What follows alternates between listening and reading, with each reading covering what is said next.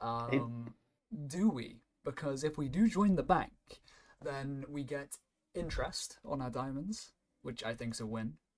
Uh, he does Mhm. loans, business loans. So like, if we want to fund like one of our ven- new ventures, then we can.